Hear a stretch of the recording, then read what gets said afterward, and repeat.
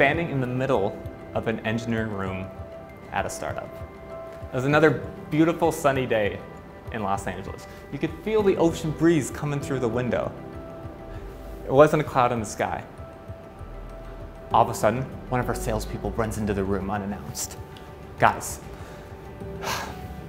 you're trying your best, I know. When's the site coming back up? I got a call with a client in an hour who wants to put in an order worth 100K. We looked at her. We looked at each other. We don't know. We were in a complete blind panic.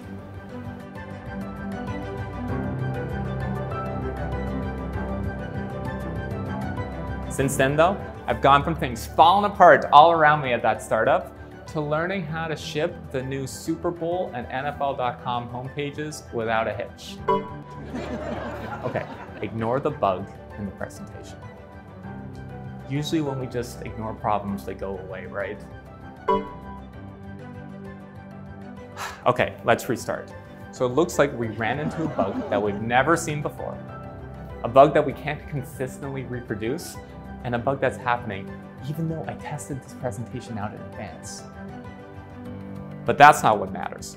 What matters is our end goal. It's not just about catching bugs.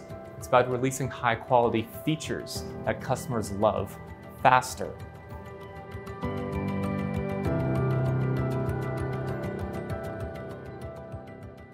You already have the time to do proactive work as an engineer, like now.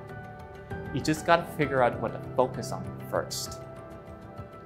See, people overestimate what they can do in a day, but they underestimate what they can do in a year. So drop everything to help your coworkers when any of the checks you set up are blocking them. Because if they're too frustrated, they'll just turn off the tests and you'll lose progress.